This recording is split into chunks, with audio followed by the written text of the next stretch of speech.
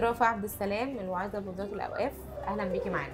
أهلا وسهلا بحضرتك يا أستاذة إسراء. كل سنة وحضرتك طيبة. وأنت طيبة وكل مصرنا الحبيبه والعالم الإسلامي بخير وصحة وسعادة وسلامة إن شاء الله. هل انقطاع الدورة الشهرية قبل الفجر بوقت لا يسعى للاغتسال يفسد الصوم؟ بسم الله الرحمن الرحيم. الحمد لله الذي أعظم على عباده المنه جعل الصوم حصنا لأوليائه وجنة وفتح لهم به أبواب الجنة وعرفهم أن وسيلة الشيطان إلى قلوبهم الشهوات المستكنة وأنه بقمعها تصبح النفوس مطمئنة وصلى الله تبارك وتعالى على خير الرجال سيدنا محمد وعلى آله وصحبه وسلم تسليما كثيرا. انقطاع الدورة الشهرية آه قصة يعني إني أنا أنوي الصيام قبل الفجر قصة والاغتسال قصة تانية.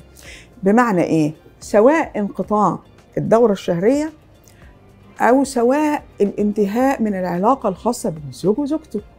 لو لو لو هذا العلاقة دي انتهت قبل الفجر بوقت كافي أو انقطع دم الحيض أو النفاس قبل الفجر بوقت يبقى كده قبل صلاة الفجر ده تنوي المرأة وينوي الرجل في حالة إذا ما ما ما اغتسلوش قبلها ينوي الصيام. كويس؟ وبعد الفجر يعني الوقت ضيق. ينوي الصيام وبعد الفجر يغتسلوا. حاضت المرأة بس إذا إذا فاتها وقت الفجر أو إذا فات وقت الفجر هيبقى عليه وزر ضياع صلاة الفجر. كويس؟ لكن الصيام صحيح.